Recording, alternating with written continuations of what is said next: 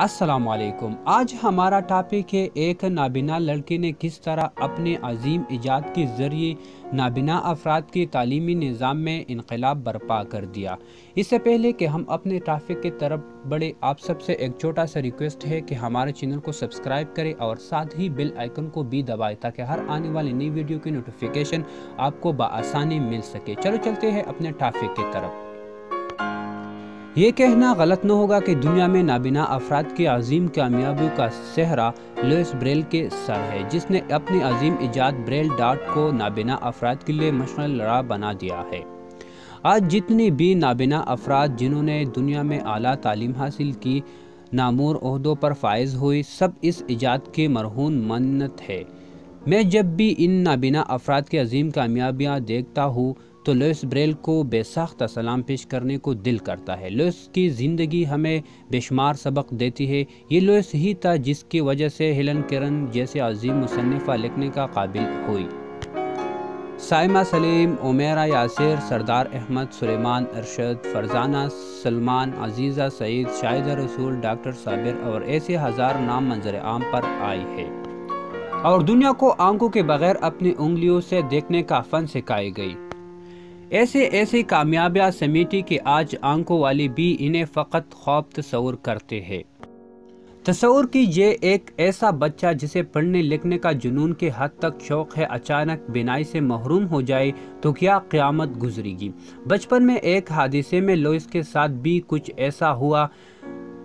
اٹھارہ سو نو میں پیدا ہونے والا لوئس اٹھارہ سو بیس میں بینائی کی نعمت سے محروم ہو گیا۔ اسے پڑھنے کا بہت شوق تھا، وہ حادثے سے قبل روزانہ کتابیں پڑھتا تھا، لیکن اچانک اس کی دنیا اندھیر ہو گئی تھی۔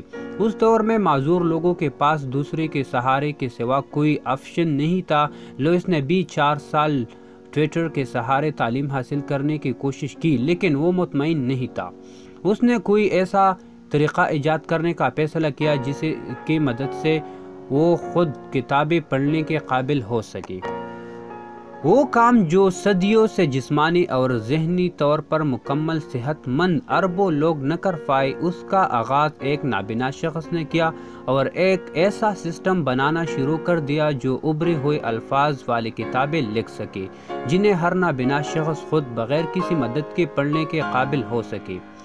اس نے اسی کام کو زندگی کا مقصد سمجھ لیا اور دن رات اس پر کام شروع کر دیا۔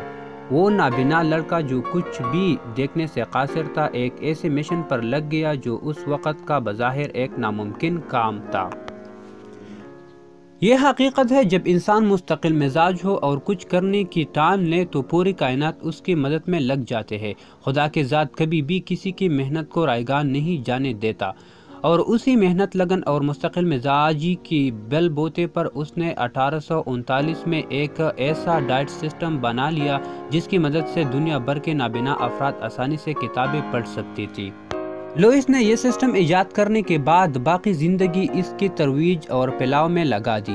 وہ اٹھارہ سو باون میں اس دنیا سے تو چلا گیا، لیکن دنیا بھر کے نابینا افراد کو روشنی دے گیا۔ اس محنت کا صلہ خدا کے ذات نے اسی طرح سے دیا کہ اٹھارہ سو پچپن تک اس کا بنایا ہوا بریل سسٹم پوری یورپ میں راج ہو گیا اور پھر یورپ کی چودہ ملکوں نے تمام بڑی کتابیں لوئس کے بریل نظام پر منتقل کرنا شروع کر دی۔ آج اس کی دی ہوئی بریل سسٹم کی وجہ سے دنیا کے تمام نابینا افراد اعلیٰ تعلیم حاصل کر پا رہے ہیں اور نہ صرف اپنی زندگیوں میں انقلاب لا چکے ہیں، بلکہ اپنے جیسے کئی افراد کی زندگیاں بدل رہے ہیں۔ ایک لمحے کے لیے روک کر خود سے سوال کیجیے، کیا آپ کی زندگی میں موجود مشکلات، نابینا، لوئس بریل کی زندگی سے بھی زیادہ ہے؟ کیا آپ اپنی زندگی کے مقصد سے اس لیے مو موڑ کے بیٹھ گئے ہیں کہ چند مشکلات نے آپ کا راستہ روک رکھا ہے؟ ذرا حقیقت کے آنکھ سے دنیا کو دیکھے اور بتائے، کیا کسی بھی انسان نے بغیر مشکلات کی کامیابی حاصل کی ہے؟ یہ مشکلات نہیں، فقط کاہلی اور سستی ہے جو آپ کو اپنے مقصد کی پہچان سے، اپنے حقیقی شناخت سے اور ایک عظیم کامیابی سے دور رکھے ہوئی ہے آج لوئس بریل کے وہ دن رات کی محنت دنیا کی بیس عظیم ترین ایجادات میں شمار ہوتے ہیں۔ یہ وہ ایجاد ہے جس کی وجہ سے تعلیم سے محروم نابینا افراد آج دنیا کے اعلیٰ ترین ڈگریاں حاصل کر رہے ہیں۔ آپ آج گوگل پر پی ایچ ڈی کرنے والے نابینا افراد تلاش کریں۔ یقین مانے آپ گنتے بھول جائیں گے۔ یہ لوئس بریل تھا جس نے دنیا کو یہ احساس دلایا کہ نابینا افراد بھی عام انسانوں کی طرح تعلیم حاصل کر سکتے ہیں۔ بریل کی اس ایجاد کے بعد معذور افراد کے لیے ایجادات کا سلسلہ شروع ہو گیا جو آج تک جاری ہے۔ اور یہ سب وہ ایجادات ہیں جن کی وجہ سے تمام معذور افراد اب معذوری کی زندگی سے نکل چکے ہیں۔ وہ نہ صرف اپنا بوجھ اٹھا رہے ہیں بلکہ اپنے جیسے لاکھوں افراد کی مدد کے لیے بھی دن رات کو شاہ ہے آج دنیا بھر کے اعلیٰ تعلیم یافتہ نابینا افراد لوئس بریل کو دعائی دیتے ہیں۔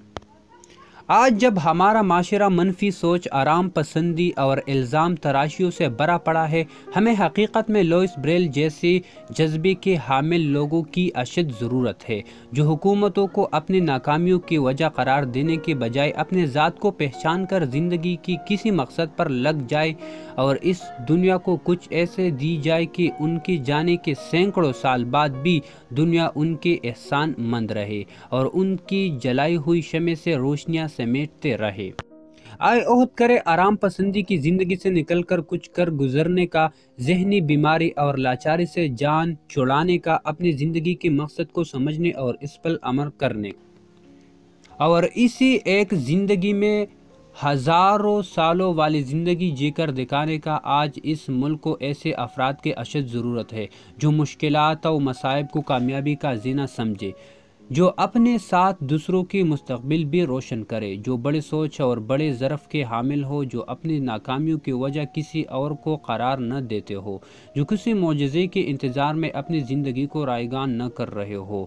جب ہم لوگوں کے لیے جینا شروع کر دیتے ہیں، تو ہمیشہ کی زندگی ہمارا مقصد بن جاتی ہے۔